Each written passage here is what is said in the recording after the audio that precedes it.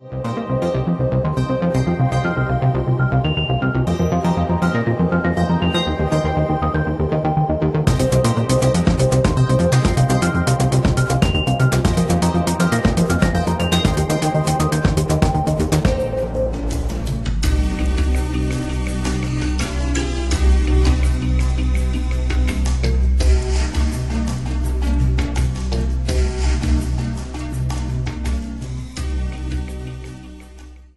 Здравствуйте, уважаемые зрители Нейромед ТВ. Сегодня мы продолжаем нашу передачу с Романом Жицем, сотрудником НАСА. Роман, ну, вернемся к, к прошлому разговору. Таким образом, получается, что Соединенные Штаты утратили дух космической экспансии, возможности ее. Если вспомнить 60-е, то, собственно говоря, сама лунная программа была развернута всего за 7 лет – Теперь, если, если они собираются вернуться на Луну, то только к 2020 году.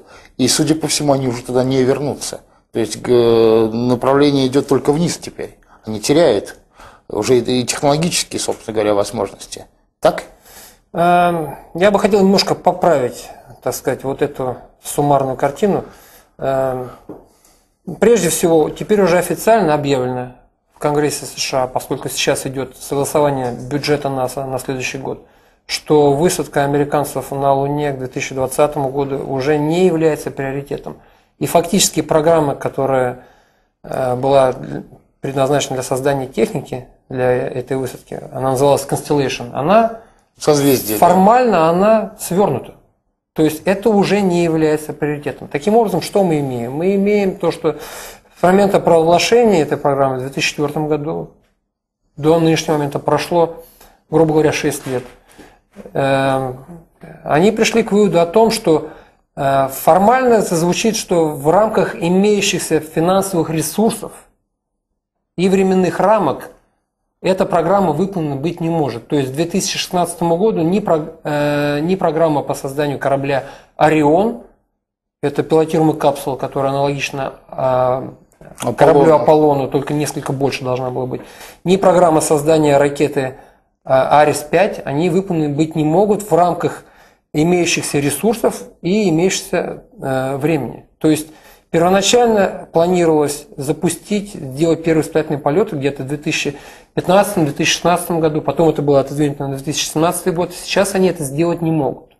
Поэтому, естественно, здесь, по крайней мере, имея такой факт на руках, можно сказать, что опять же, коэффициент полезного действия, отдача от того, что э, производится, создается под руководством НАСА, ну, мягко говоря, выглядит совсем не так, как это выглядело во времена 60-80-х э, годов, когда их деды могли за те же самые 6 лет создать с нуля, что очень важно, ракету «Сатурн-5» и целую серию кораблей, начиная «Меркурий», Джеминай и затем Аполлон.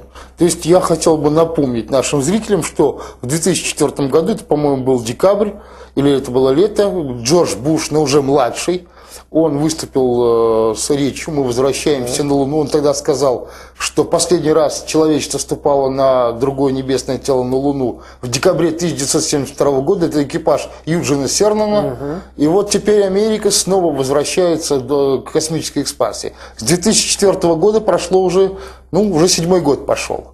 Если в 60 это объявление гонки, лунной гонки в 61 до высадки на Луну произошло, прошло 8 лет, то теперь со слов Буша до, собственно говоря, нынешнего момента прошло почти столько же. Почти столько же. И да. они ничего не сделали, при том, что... За исключением того, что был все-таки сделан один испытательный запуск ракеты Арис-1. Но во время этого запуска, это меньшая ракета по размеру, она должна была испытана быть как э, пред, предварительный, предварительный демонстратор технологий, необходимых для большей ракеты. Но во время этого запуска, который был только частично успешным, они встретили очень большие проблемы э, со стабильностью полета, с двигательной системой.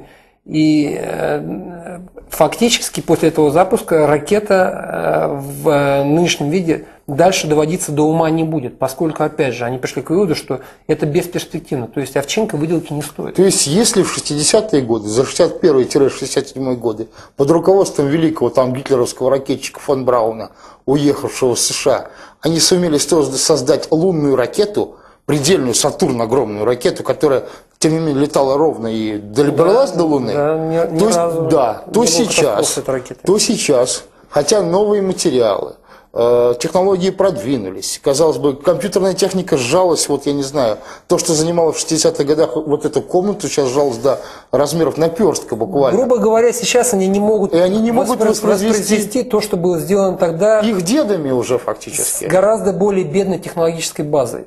Поэтому как мы можем попытаться осмыслить, почему это происходит? Давайте смотреть, э, искать причины, что может э, привести к такому, казалось бы, парадоксальному исходу всей э, программы по воссозданию вот этого э, лунного наследия. Ну, я бы хотел выразить здесь э, свое персональное мнение. Многие, конечно, могут с этим спорить. Тем не менее, э, вот э, вы правильно сказали, что раньше не было всех вот этих э, такой компьютеризации инженерного дела, не было таких возможностей моделирования. Сейчас, казалось бы, все это есть. И казалось бы, с такой техникой, с таким уровнем э, анализа инженерных и технических задач можно и нужно создавать и быстрее, и лучше образцы летно-космической техники. Но мы в реальности получаем обратную картину. Почему это происходит? Э, Я бы хотел снова вернуться к той идее, которую я говорил вот в первой передаче, э, которая заключается в том, что э, в общем и целом компьютерная техника и компьютерное модели- моделирование не является панацеей. Натурные Да. испытания. Это должно Реально, быть ничего не- обязательно дополнено, а еще лучше, это должно идти в параллель с натурными испытаниями по простой причине. Для того, чтобы быть уверенным в том, что э, получено какие результаты с помощью компьютерного моделирования, это все может быть только поверено практикой. Поэтому это имело бы смысл, если бы продолжалась линия на постоянную серию летных испытаний, во время которых получались бы реальные данные из реальных полетов. И после этого эти данные да, сверялись бы с тем, или компьютерные программы э, тарировались бы, или, буквально говоря, э, подстраивались под то, что получено с помощью экспериментальных данных. Тогда можно было бы любому менеджеру, который принимает действительно сложное решение по поводу миллиардных инвестиций, он бы мог сказать себе, да, я могу верить тому, что смоделировано. Но поскольку этой летной исправной базы нету, И всё ушло в виртуальщину, фактически, да. да, все ушло в виртуальщину, получается бесконечная череда красивых картинок и презентаций. В то время как летные образцы, они так и сидят, так сказать, годами, десятилетиями, потом постепенно ложатся в полку. Они, то есть фактически они пошли по пути оптимизации расхода, удешевления, перейдем на компьютер, а в реальности это об- обернулось застоем. И это, это, это первая основная причина. То есть, опять же, благими намерениями вымещена дорога в ад. Когда, начиная с Голдина, целый ряд людей под ним сказали, нет, мы хотим на самом деле создать э, средства компьютерного моделирования, чтобы делать быстрее и лучше. Помните этот лозунг? Да, да, да. быстрее, лучше, дешевле. А получилось реально медленнее, получилось, что- медленнее, да. дороже. И в результате почти что ничего нового не получается. То есть, Роман, э, программу создания не только Российская Федерация заваливает программу создания новых ракет-носителей на участке Ангара, и Соединенные Штаты свою новую основную ракету Арес, они тоже Ну, Они, да, фактически они сейчас отказались от э, создания в том виде, в каком менеджмент одобрил это еще в 2004 году. Опять же, возвращаемся к тому, что менеджмент в то время был ОКИФ и люди под ним. Они были, видимо, недостаточно компетентны, чтобы понять, что та дорога, которая была принята в 2004 году, не приведет к желаемым результатам. Роман, а вот история с их новым кораблем. Вот нынешний корабль «Орион», который они пытаются делать, ну, новый основной Да, космический да. корабль, это ведь фактически, как его называют, Аполлон 60-х годов, но на стероидах. То есть Да, немножко Аполло раздутый. на стероидах, да, такое выражение. Ну, То есть повторение ироничное, да. 60-х, да. Но тут хочется одну вещь, опять же, сказать. Э, так сказать, надо отдать должное, должное, надо отдать дань справедливости. Значит, э, форма, чисто аэродинамическая форма э, современного корабля «Орион», его сходство, его похожесть на Аполло, она обусловлена действительно законами аэродинамики. То есть с точки зрения э, дешевого и надежного возврата людей на Землю, скажем, форма конус там и полусферическое затупление, это вполне нормальная оптимальная форма. Другое дело, то есть не случайно их внешняя похожесть. Другое дело, что этот корабль, его технические возможности в принципе никак не пригодны для того, чтобы лететь помимо Луны, но еще его в НАСА, так сказать, предлагали как э, корень, как стержень для того, чтобы наращивать эти возможности и потом лететь на Марс. Это абсолютно непригодно. То есть речь идет о том, что воспроизводить наследие 60-х годов не имеет смысла сейчас по простой причине. Есть другие более сложные решения, но которые имеют возможности перспективы роста. Морфирование их в более системы, в более сложные, которые имеют больше набор возможностей. Но они уже утратили эту возможность, получается, из ваших слов, из ваших впечатлений. Они не утратили. Еще раз, я хочу э, повторить то, что я уже говорил. Внизу люди, которые фактически Могут идут еще. работу, они имеют творческий потенциал. Есть много разных конкурирующих идей. Но верхушка Но блокирует. наверху, вот именно вот этот подход, э, я э, хотел бы одну вещь пояснить, она очень важную.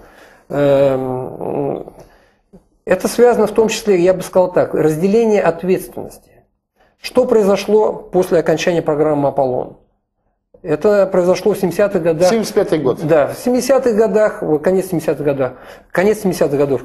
Э, Значит, в НАСА была внедрена идея о том, что нам же надо как-то сокращать эти космические расходы, которые были непропорционально высокие, поскольку мы выиграли космическую гонку, лунную гонку с Советским Союзом.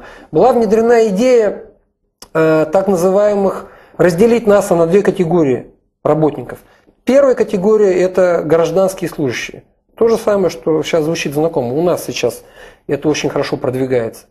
И вторая идея, э, вернее, вторая категория – это рабочие, инженер, специалист, ученый, работающий по контракту. То есть некая каста небольшого размера. Гражданские служащие, эти люди получали свою позицию, свое рабочее место пожизненно. И эти люди становились постепенно, именно выдвигаясь на позиции менеджмента, управления. Считалось, что если ты хороший ученый, хорошо себя зарентовал, во времена программы «Аполлон» ты получаешь вот эту пожизненную позицию, ты становишься Белой гражданским да, служащим, и потом ты под твои проекты, новые, интересные, перспективные, ты набираешь команду людей по контракту. Вот в том числе и я, как иностранный специалист, поскольку э, у меня не было к моменту окончания Вы попали э, в, этот, да. в эту категорию, Вот, вот вторую да. категорию, да. вторую категорию э, людей, рабочих по контракту. Но в самом НАСА сами американцы, американские граждане, они также, большинство работающих в НАСА, это люди, которые работают по контракту. Что значит работа по контракту? Как правило, работа по контракту, она э, не заключается на пожизненно, она заключается на какой-то период времени, происходит переаттестация. Она случается на год, там, на два, на три, максимум на пять лет. Потом происходит переаттестация. Так получилось вот именно разделение на касту жрецов, грубо говоря, и на касту подневольных людей, набираемых под конкретную программу. Сначала это дело, любая крупная организация имеет большую степень инерции. То есть в 70-х годах... Пока еще ехало. Да, это ехало, поскольку был еще старый задел, старые зубры были, которые во времена Аполло выросли. И шаттл был, кстати, создан, пусть с опозданием, но запущен, и система стала это функционировать. Но уже в 80-е годы появилась, стала нарастать некоторая инерция. Почему? Потому что если человек, это уже элементы человеческой психологии, она работает как в США, так, и так- так и здесь, здесь. да. Она универсальна. Если человек знает, что, э, грубо говоря, э, порученное ему дело может не получиться, но ничего не грозит ему, его социальной позиции, его доходу, так сказать, возможности содержать семью, то ну, он имеет тенденцию, любой человек, не так сильно напрягаться, не так сильно беспокоиться о том, что же реально получится в результате его деятельности. И поэтому именно так стал нарастать элемент разрыва между менеджментом, опять же, не хочу сказать, что весь менеджмент инертный Но тем не и менее. боится, но тем не менее эти элементы стали нарастать. И люди, которые реально делали техническую научную работу, это стало нарастать. И кончилось это тем, сейчас возвращаемся вот к последнему десятилетию, кончилось тем, что люди, которые сидят на позициях э, принятия решений в НАСА, это люди, которые когда-то получили эти э, позиции гражданских служащих 20, 15, 10 лет назад. И они просто отучились брать на себя риск. Потому что космос, исследование космоса, создание космической техники, они всегда будут, даже сейчас, полет на самолете, извините меня, сопряжен Это- с риском. это риск. Да, вы всегда можете не приземлиться хорошо, мягко. Это всегда риск. И поэтому эти люди, которые немножко потихонечку отучались рисковать, для них сейчас самое главное это сохранение э, удобной, хорошей, э, статусной, так сказать, вот константы. И если, как я уже говорил, приходят инженеры и говорят, вот мы тут смоделировали интересные у нас вещи, получается. Человек, который находится в этой позиции и э, принимает решение о больших инвестициях, он про себя, грубо говоря, думает, а если это будет Верить я не могу до конца. Вот, ну, я упрощенно. А если не говорю, получится? Да. Если не получится, как я буду выглядеть? Ну, естественно, находится предлоги, буквально это звучит так. Ну, ребята, давайте вот мы сделаем еще такую группу аналитическую создадим, еще здесь сделаем поработку. Вот недостаточно у нас информации. И происходит вот это огромный процесс инерции, торможения. И творческий, так сказать, порыв – Э, извините за пафос, он постепенно у людей притупляется. То есть у них произошла такая... Охлаждение. Некоторые неверие начинает нарастать, что а, Образовалась, ваша... да, некоторая номенклатура. Да, да. Она хочет урвать побольше денег из бюджета, но при этом ничего не рисковать. По крайней мере, она хочет ничего. минимизировать риск. риск. То есть уже идея такой, какая была в нас в 60-х годах, когда действительно во многом политику нас определяла команда Вон Брауна, когда у них было именно отношение, как они говорят, кенду, мы можем сделать. Это во многом уже утеряно. И это главная, на мой взгляд, причина. Почему подход, дух НАСА, именно рисковать, не бояться, пытаться творить что-то новое, даже учиться на своих ошибках, постепенно этот дух заглухает. Он еще живет, но это уже совсем не та атмосфера, которая по, по рассказам старослужащих, которые работали задолго до меня, которая была, превалировала в нас даже в 80-х годах. Это основная причина. Я бы хотел просто нашим зрителям рассказать, кому-то напомнить, кому-то и рассказать, что фон Браун был духом НАСА в 60-е годы. В 60-м году он выпустил книгу «Человек на Луне». Он посвятил ее своим дочерям, э, которые будут, как он написал, жить в то время, когда полеты на Луну станут обыденностью, как полеты на самолете. Фон Браун еще тогда предлагал челноки сделать э, так сказать, со спуском пассажиров на Землю очень интересная система. Но, тем не менее, весь этот дух вот сейчас, благодаря вот такой номенклатуризации, коммерциализации, отказа от натурных испытаний, он выветривается, получается. Да. Я бы соединил еще, опять же, это с нашим предыдущим разговором о том, что нас ведь оно уже не живет вот в отдельном мирке. Это часть США, часть ее культуры. И те процессы, да, которые идут там, которые, они которые, да, в Америке происходили вот в 60-х, 70-х годов, они постепенно, естественно, стали просачиваться в нас. Это какие процессы? Это вот эта либерализация, доведенная до абсурда, когда главное казаться, а не быть, когда имидж действительно определяет все. Америка, насколько я понимаю, по крайней мере, с рассказов живых людей, которые сторожилы, работали в НАСА давным-давно, 60-х годов, у нас есть такие еще люди. Америка бы тогда была другой. Тогда... Но футболист не получал больше космического ученого. Вот э... именно. Тогда э, главный Или сериал, наиболее популярный сериал по телевизору был не «Женат с детьми», а был именно «Стартрек», «Звездный путь». И это люди воспринимали это как проекцию того, как они будут жить, как они будут, к чему нужно стремиться. И в этом сериале ведь главные герои, герои их идея звучала в том, что они несли прогресс, но этот прогресс стоил чего-то, стоил риска, стоил напряжения, труда, иногда и жизни. И это постепенно, вот эта установка, она стала вытесняться на то, что самое главное – это безопасность, самое главное – это удобство. Самое главное, чтобы было все белое и пушистое, грубо говоря. И миллион к 30 да, годам первый. Да, да. Поэтому я думаю, что это очень сильно все связано. Но самое интересное, самое обидное, что э, в Российской Федерации все это бездумно сейчас копируется. Даже если взять тоже космическую отрасль. Вот я помню, в 2006 году молодой амбициозный глава НПО, а уже по РКК, вернее, энергия, ага. Севастьянов, он выступил с очень интересной и очень реальной программой. То есть создать перспективную транспортную космическую систему, тот самый клипер, многоразовый клипер, корабль. Да. Об этом, кстати, у нас да, заходили да, разговоры, да. и они обратили на это так внимание. Мало, мало того, Роман, простите, что перебиваю, Одновременно он ратовал за то, чтобы на основании имеющихся, кстати, уже технологий создать межорбитальный буксир паром. Да. А дальше выйти э, на освоение околоземного пространства промышленное – облететь снова Луну, высадиться на Луне, а дальше и на Марс. транспортную на Марс. систему, систему, по крайней да. мере, между Марсом и Луной для начала, для того, чтобы отработать. Землей и Луной, простите, да. а потом да, между Марсом между Землей и Луной, да. Вот. И что же получилось? И руководство Российского космического агентства, оно фактически пошло как и НАСА. Она э, Севастьянова смайнала, она отказалась от идеи клипера и сейчас фактически воспроизводит по обезьяне воспроизводит тот же Орион. Американцы издеваются. Орионский у вас будет. Орионский, да. Орионский. Как когда-то есть... они думали про Ту-44, Конкордский. Конкордский, да. Так. То есть сейчас получается, что космонавтика Российской Федерации, она повторяет, вот, собственно говоря, худшие Даже не просто хуй, а просто повторяет во многом э, то, что происходит. Ну, в, в, отличие, в отличие от э, какого-то, так сказать, э, взгляда изнутри нас, который у меня имеется, я, к сожалению, как это не парадоксально, не могу ничего сказать, э, что происходит внутри нашего Роскосмоса, но, естественно, мы можем судить по внешним проявлениям. И здесь я согласен с вами в том, что действительно опять чувствуется вот это вот желание просто-напросто идти проторенным путем. А вот у них так, поэтому давайте мы тоже будем делать так. Хотя я бы хотел сказать, опять это понимание этого мне пришло позже, в 90-х годах, когда я уже в Америке обучался.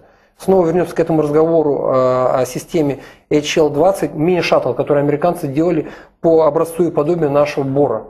Я хотел бы сказать, что в то время, ведь к моменту развала Советского Союза, в СССР была практически готова к летным испытаниям замечательнейшая система, которая называлась МАКС. МАКС. Многоразовая авиационная космическая система. Почему она была замечательнейшая? Потому что это и был не просто мини-шаттл, это был двухступенчатый мини-шаттл, который имел в роли первой ступени самолет готовый, летающий, мрию, опробованный, мрию, да. и который позволял запускать полезную нагрузку на любую космическую орбиту с любой точки воздушного пространства, поскольку туда мог Долететь самолет. Самолет Мрия являлся фактически воздушным космодромом. То есть любую точку можно было вывести сначала первую ступень самолет Мрии, и потом уже запустить вторую. И это был реальный наш прорыв. Это был способ сделать космонавтику э, очень дешевой. По крайней мере, снизить, действительно, на порядок снизить доставку полезного груза на Землю, одного килограмма полезного груза на Землю, это было действительно вполне реально. С Земли на орбиту, вернее, вы хотели э, сказать. Да, да, с Земли на, орбит, э, на низкую земную орбиту.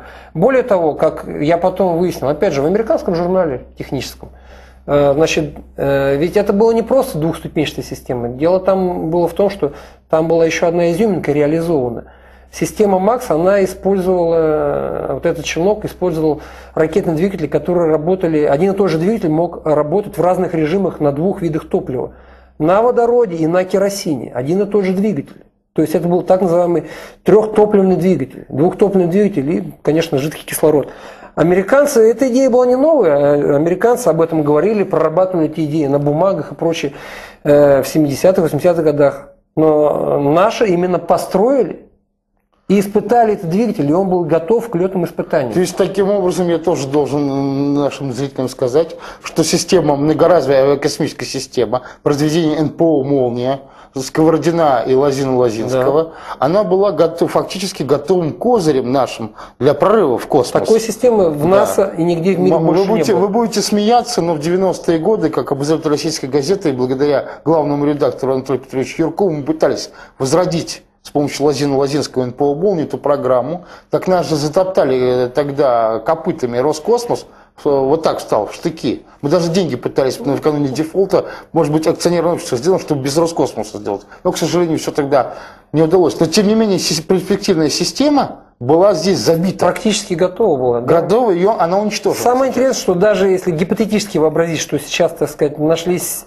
силы, которые хотели бы действительно реально что-то делать, возрождать. Если систему то сейчас реанимировать, она и сейчас не будет иметь никаких аналогов, потому что она базируется на технологии, которая не нет, фантастическая, она отработана. Их нет у американцев, да, кстати говоря. И она действительно позволит делать это коммерчески viable, то есть коммерчески она будет прибыльна, вводить полезный груз – в любую точку на порядок дешевле, чем то, что Космодрома не нужно. Да, да. Роман, ну только что ж получается, американцы сейчас просто дают первенство китайцам, китайцы сейчас нагонят космическую свою программу, они уже наши технологии впитали, ну, о, научились, так что ж Китай будет ведущей мировой космической державой. Максим, вот давайте, это, кстати, тоже очень интересный вопрос, ну, и об этом тоже, да, говорят у нас, э, немало ведется разговоров.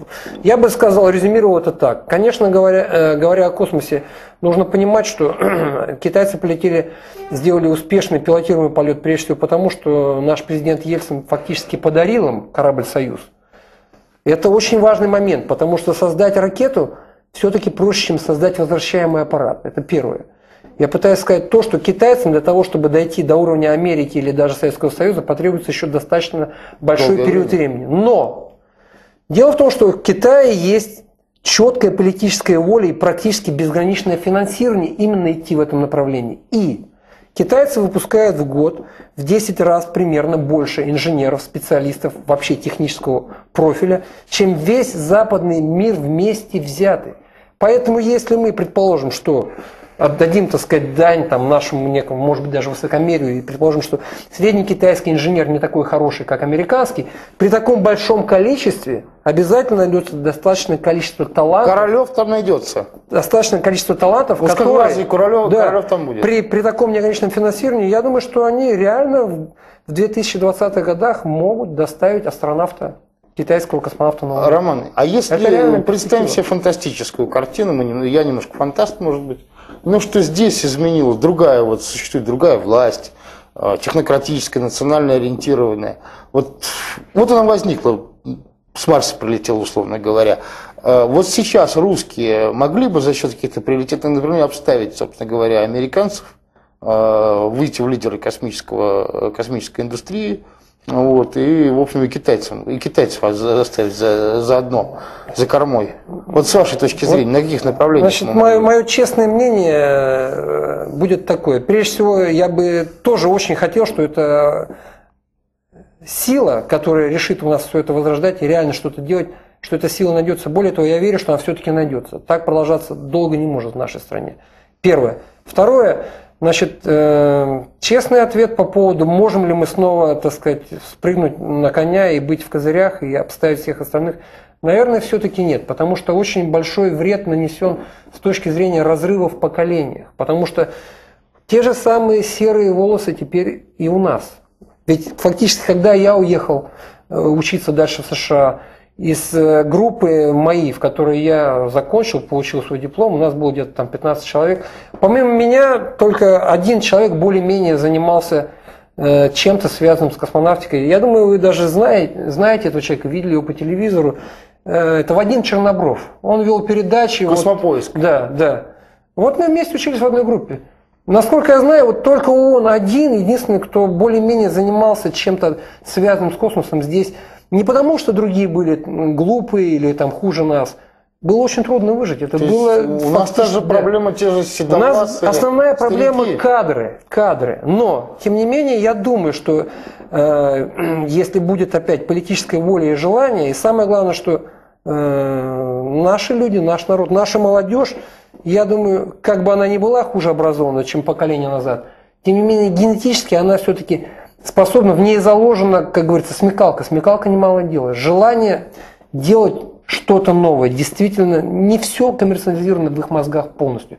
Поэтому я думаю, что в течение, может быть, 5-10 лет можно 5-10 лет выйти на какие-то рубежи, которые были с точки зрения кадровой политики. Э, А в а СССР, почему, да, почему не в- сделать в тоже? СССР, которые были перед развалом Советского Союза, а потом уже именно использовать традиции, великолепные традиции отечественной космонавтики, а именно практически серии испытательных полетов, технологическая наработка в практическом режиме. И плюс, используя кое-что, можно позаимствовать и современные, так сказать, практики в НАСА в США. Это компьютерное моделирование. Если сделать удачное сочетание именно практической космонавтики, испытательной, тестовой и компьютерного моделирования, я думаю, что через 15-20 лет Россия вполне могла бы стать космическим лидером. Э, Роман, я вот так думал, э, вот что бы я делал, ну, будь я на месте, так сказать, первых лиц. Я бы, наверное, сделал бы стержневой программой, кстати говоря, вот это Марс, да, его нужно реанимировать, его реанимировать и, на- перспективную и его систему. использовать как э, учебную базу, именно так, как учебную базу для того, чтобы готовить новых специалистов. Потому что с точки зрения технического уровня Макс это великолепная техническая система, потому что Потому что на вечном копировании салютов, протонов, союзов ты уже ничего не сделаешь. Ты останешься, эти седые умрут, э, уйдут старики, как, э, как говорится, к слову, те господи, они сейчас тянут, и все. И помимо этого еще хочу одну вещь напомнить. Вот как я уже говорил, когда вот я учился в МАИ, заканчивал его, как потом выяснил задним числом, ведь у нас же были большие серьезные наработки по марсианскому полету в НПО энергии. Практически. Не бумажные наработки, а практически. Электроракетные двигатели были созданы, образцы, которые работали много часов в лабораториях успешно. Были созданы замкнутые, практически да, замкнутые системы жизнеобеспечения. Вот почему Да сейчас я- проводится Марс 500. Это все не просто так. Так ядерные двигатели были Да, созданы. ноги растут оттуда. Это все тоже еще пока можно успеть реанимировать. Еще живы те люди, которые знают эти маленькие секреты. Ну, если деньги тратить не на футбол, там, Не на футбол, на, не- не на саммит, Олимпиаду, а- да. Олимпиаду или саммит АТЭС, или что Безусловно, сейчас. Безусловно. Вот. Но я бы хотел бы еще задать, может быть, такой несколько провокационный вопрос. Все-таки вы человек, поживший там и видевший эволюцию Америки за почти два десятка лет. У них есть шанс вообще выбраться из системного кризиса? Вот вы видели, вы видели, как меняется жизнь в Америке. Все-таки у них радикальные рыночные реформы, если там э, в, у нас на русской земле на обломках Союза они начались в 92-м, 91-92, то у них же вот рейганизм, это 81-й, вот та же либерально сверхрынок, торжество товаро-денежных отношений на здравом смысле как раз произошли тогда. Все-таки что? Вот как- Вопрос, вопрос этот не провокационный, вопрос этот правильный и даже очень правильный, потому что об этом думают сейчас очень многие американцы, даже никак не связанные с НАСА, по простой причине. Жизнь среднего класса в Соединенных Штатах, особенно за последние десятилетия, стала значительно сложнее. И самое главное, общее настроение в обществе в США – это открытый секрет. Об этом прямо говорят в Конгрессе. Общее настроение скорее мрачное, чем вот я помню вот это dot-com, конец 90-х, начало 2000-х, когда была Интернет эйфория, был, эйфория, был, да, да. да. А сейчас скорее настроение мрачное по многим причинам. Не только люди начинают понимать, что э, ну, нельзя быть вечно богатыми, разрушая собственную промышленность, потому что в погоне за капиталом большой бизнес практически переместил всю индустрию, реально, реально производящий сектор, в другие страны. И- В Азию, в другие страны, в Южную Америку. Это первый момент. Народ это начинает понимать. Второй момент. Финансовые спекуляции США, Уолл-стрит, его негативная роль, зашли так далеко, что также очень многие люди не только понимают, но и потеряли уже накопление. Вспомните вот этот недавно нашумевший случай с Медофом. Медов это один из многих сотен подобных товарищей. Этих людей очень много, которые вот в этих схемах, так сказать, они опять использовали вот это желание быстрейшего обогащения и вложили в деньги, зная наперед, заранее, что это пирамида. Таких медов не один, их Мы много. только знаем одного, а ведь там их много. Другие пока что пользуются иммунитетом, поскольку наверху там точно та же, как у нас, даже может быть в большей степени, достаточно хорошо друг друга они покрывают. Потому что, посмотрите, я, конечно, не экономист, может быть, у меня несколько наивные суждения, но это же, как говорится, ежу понятно. Во время кризиса, когда Обама отдал приказ напечатать э, огромное количество ничем не отвеченных, необеспеченных долларов, куда эти деньги ушли? Они ушли в те же финансовые структуры, фонды, банки, которые были причиной этого кризиса.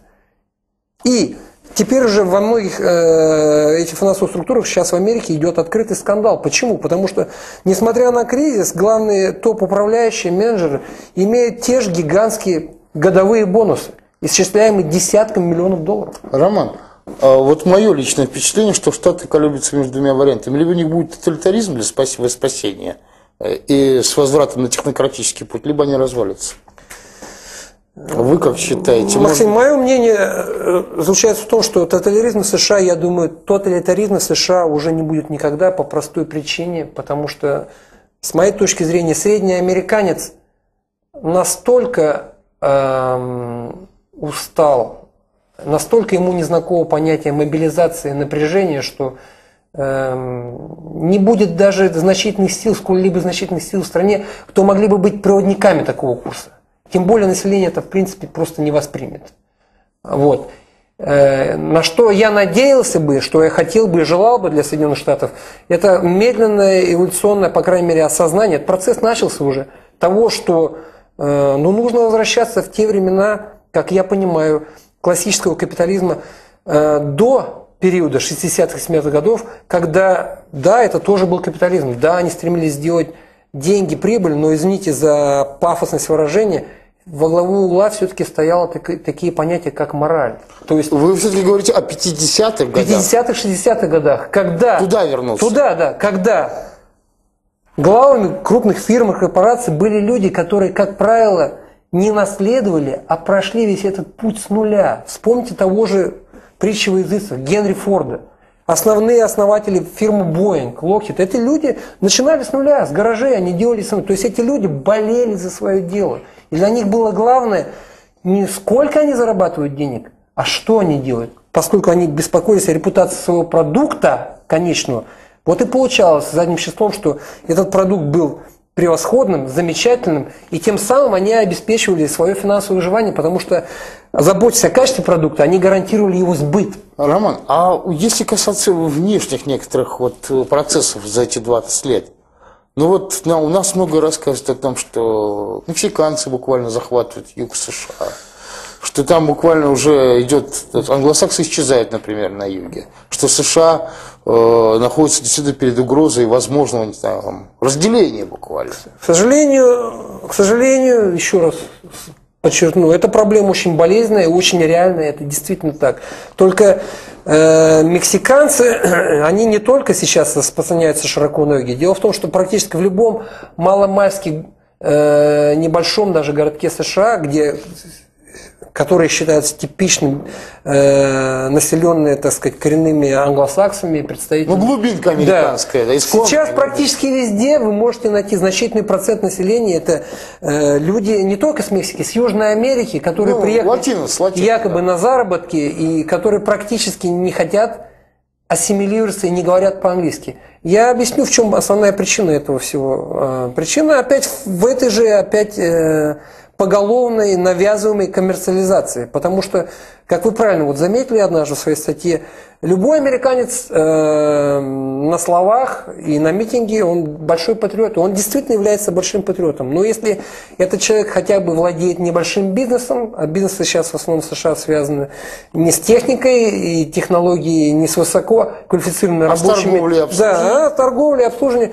Он прежде всего беспокоится о том, как он выживет в конкурентной борьбе с соседом, таким же американским Джо, у которого уже работают низкооплачиваемые мексиканские рабочие. То есть те же таджики и узбеки, да, но вот с только, американским... только, только поскольку ну, Южная Америка рядом, только в американском исполнении. А если они... Тот же самый процесс. А если латиноамериканская таджичка, в кавычках, родила ребенка в США, он автоматически становится гражданином США, насколько я понимаю. Да, это действительно так. То есть у них есть право гражданства по рождению. Но она не только рождает ребенка, как правило, мексиканские или южноамериканские семьи, они очень многодетные. То есть у двух родителей, как правило, бывает 4, 5, 6 и более детей. Это норма для них. Поэтому есть вполне серьезные проекции, которым можно доверять, что через где-то к 2050 году Соединенные Штаты могут иметь населением примерно 400 миллионов человек, из которых более 100 миллионов, это официально, будут люди, плохо говорящие по-английски. Но ведь они же не хотят даже учить английский язык, насколько я знаю. Абсолютно верно. Более того, многие из них, есть организации, которые заявляют прямо в средствах массовой информации, проводят демонстрации, где они прямо говорят э, американским гражданам, что это наша земля, вы отобрали ее у нас во время экспансии в 19 веке, и поэтому мы считаем, что это вы иммигранты на нашей Да, очень интересно будет посмотреть на ракеты, сделанные латиносами такого типа. Кстати, Роман, вы же жили в Окленде или рядом с Оклендом? Там тоже Центр НАСА Эймс находится рядом с Сан-Франциско, поэтому я жил какое-то время в самом Сан-Франциско, потом недалеко от центра в городе, который назывался Mountain View. Действительно. Mountain View это вид с горы в переводе, да? Mountain да, вид с горы, да. Это как раз вот самый центр Силиконовой долины. Там ну, буквально компания Google находится через дорогу от нас. Ну, через, Шварценеггер, через и Шварценеггера да? видно, все понятно. Ну, да. Шварценеггер живет в другом да. городе, да, ну, это там. Но напротив, с другой стороны залива, потому что Сан-Франциско находится на берегу залива Сан-Франциско, знаменитый мост, Golden Gate Bridge и прочее. На, с другой стороны залива находится город Окленд, который является вот тоже типично американским депрессивным городом, где в основном живут э, расовые меньшинства. И опять та же картина, как я уже описывал в Большом Нью-Йорке. Большинство из этих людей э, не оканчивают школу, не имеют никакой регулярной работы, очень высокий коэффициент преступности. Окленд одно время держал первое место в США по уровню преступности на душу населения.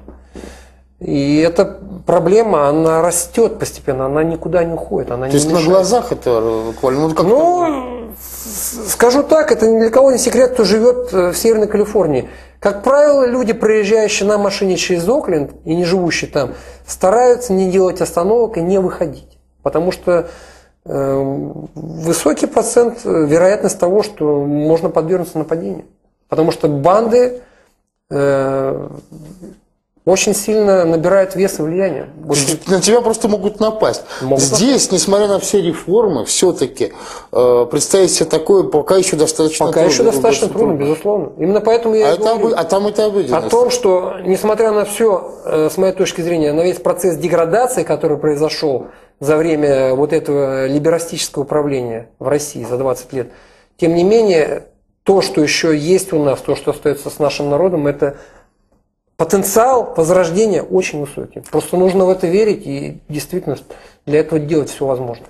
Роман, а вы с э, их политкорректной политикой э, сталкиваетесь? Я имею в виду, что вот э, мы здесь много наслышаны, что они фактически повторяют советский опыт нацброни. То есть вот положено национальным меньшинствам такое-то вот место, занимать такой-то процент в руководящих там должностях.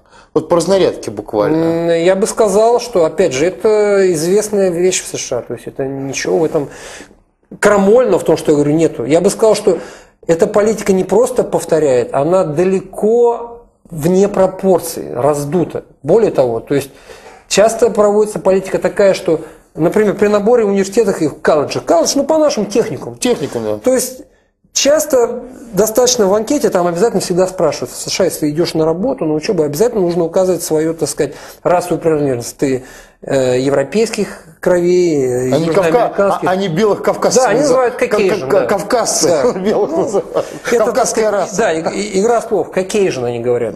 Caucasian origin. Неважно. Суть в том, что очень часто, несмотря на то, что на вступительных экзаменах, э, скажем, э, не белый абитуриент набирает ниже баллы, чем белый абитуриент, очень часто, тем не менее, дают ему преференцию именно потому, что нужно выполнить эти квоты. Это, это распространенная политика. Об этом знают все. Американцы по этому поводу хоть что-то говорят, белые?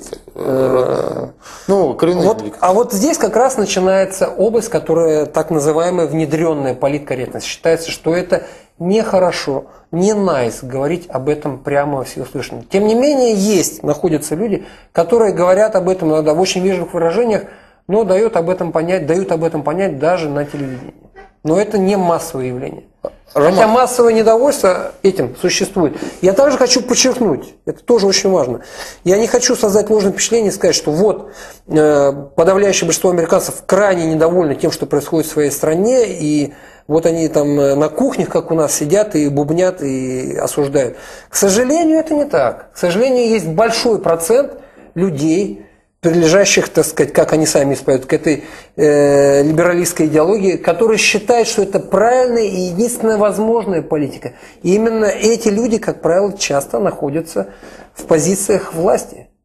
И они препятствуют Ну, какому-либо... американцам вообще свойственно считать, что все хорошо, что все нормально, и закрывать... Но нормально именно в последние 5-7 лет особенно вот это вот, начиная, точнее, с 2001 года, вот с этого, как они говорят, теракт 9-11, 9-11. 9 сентября, Да. 11 сентября, Да. простите. Это было, так сказать, для них вот первый раз, как, как мне говорили в истории, когда они, во-первых, почувствовали, что страна их уязвима.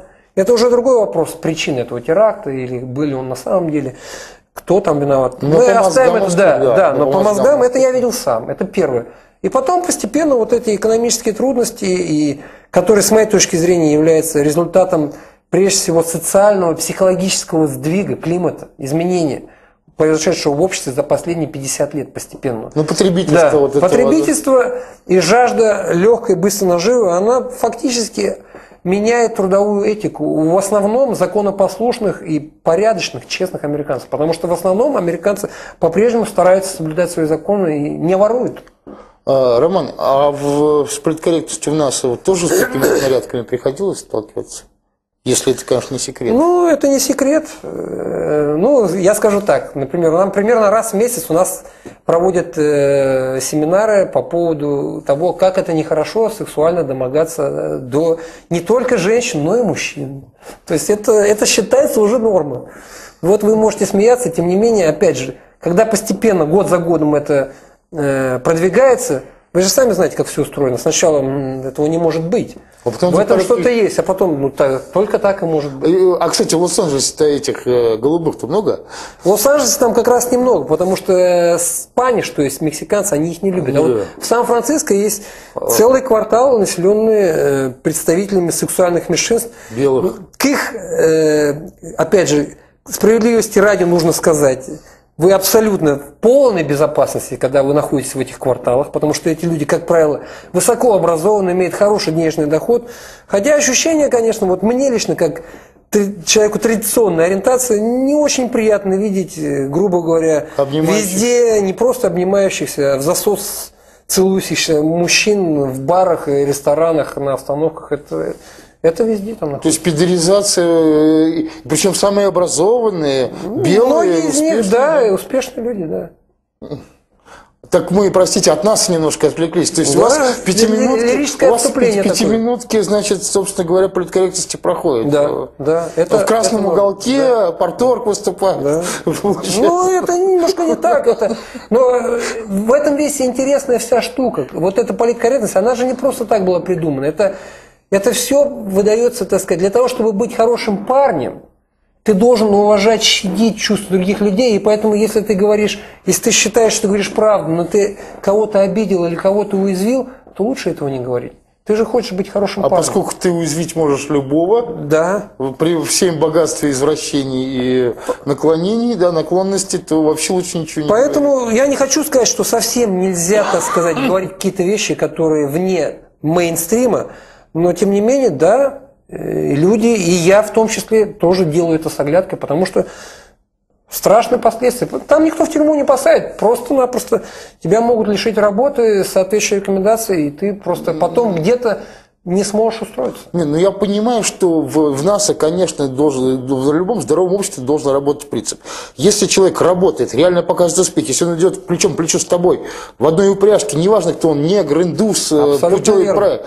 А есть же другой принцип. Вот он, его надо посадить на эту должность, потому что он либо индус, либо Правильно. там не. Вот, вот есть уже вот этот пример вот такого второго, второго рода маразматического именно. Ну, я считаю, что э, мне трудно сказать, Сталкивались когда лично я с этим не сталкивался, но эм, напрямую, косвенно, да, я видел позиции, где мне просто трудно судить, поскольку я напрямую с этим не работал, но позиции, э, по словам некоторых людей, более э, осведомленных в деталях, позиции занимались людьми, потому что это соответствовало каким-то э, разнарядкам, что репрезентация различных э, расовых ну, групп в НАСА также должна идти в ногу с тем, как эти группы э, представлены в американском обществе.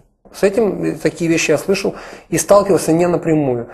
Ну все, все, ребят, можно, можно, скажу я, не вы, что э, проходили это уже, понятно, чем это кончится для НАСА.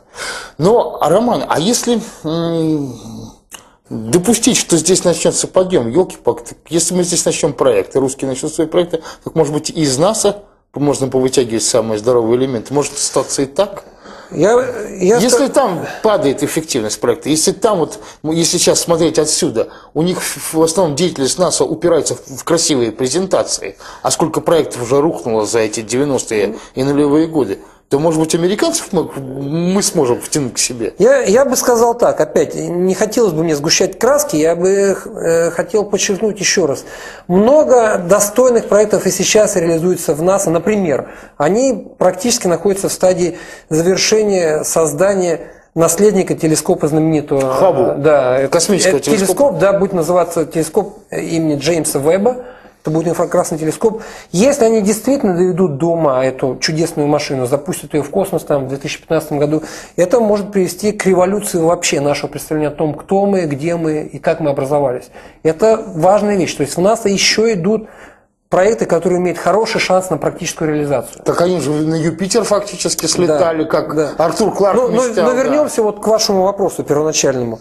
Э, поэтому, если в нашей стране начнется действительно возрождение э, научного, технологического и э, морального потенциала, я уверен, что мы могли бы, скажем, российское космическое агентство, если бы там были действительно новаторские и решительные люди, пришли к рычагам управления, могло бы иметь действительно эффективные, более эффективные, более интересные программы совместные с НАСА, чем бесконечное расширение орбитальной станции. Почему? Потому что э, совмещая нашу школу эффективных испытательных полетов и наработки именно результатов технологических практических полетах, испытаниях, это можно очень хорошо совместить с очень большими наработками и большим прогрессом, который в нас достигнут, по крайней мере, в области моделирования. Как это сделать? Многие вещи можно у нас на порядок дешевле поставить на ракетоноситель и запустить э, в другой планете или сделать испытательный проход в земной атмосфере. То есть сделать... более разумная да, кооперация есть, Конечно. Разумная кооперация, которая придет к лучшим результатам, которые могут быть достигнуты на порядок дешевле и значительно быстрее. Роман, а может быть нам стоит русским присмотреться и к другим? На американцев Запад не сошелся клином на американцев, ведь есть и немцы, например. Европейское космическое агентство, они, как говорится, просто намного меньше создают себе рекламу, но они, с моей точки зрения, они делают очень интересные, очень перспективные вещи за значительно на порядке, на порядке меньшие суммы чем американцы. И при этом добивается... Да, при этом добивается, по крайней мере, сравнимых результатов. Ну, хотя бы вспомнить недавнюю успешную миссию на Сатурн. У нас называлась миссия аппарат Гюгенс, который они запустили. Точно, да. Это на самом деле очень значительная э, очень значительный шаг в исследовании Солнечной системы, потому что это аппарат, который совершил успешный э, проход э, на большой скорости в атмосфере Титана смог опуститься, собрать во время этого атмосферного прохода значительное количество данных. И самое главное, сделать это на самом большом до сих пор удалении. Это было сделано в системе Сатурна. Это дальше, чем э, в системе Юпитера, когда НАСА последний аппарат запустила туда успешно в 80-х годах. Европейцы демонстрируют... Voyager вы имеете в виду? 80... Э, нет, не, не Voyager, это аппарат Галилео. Галилео, простите, да. Они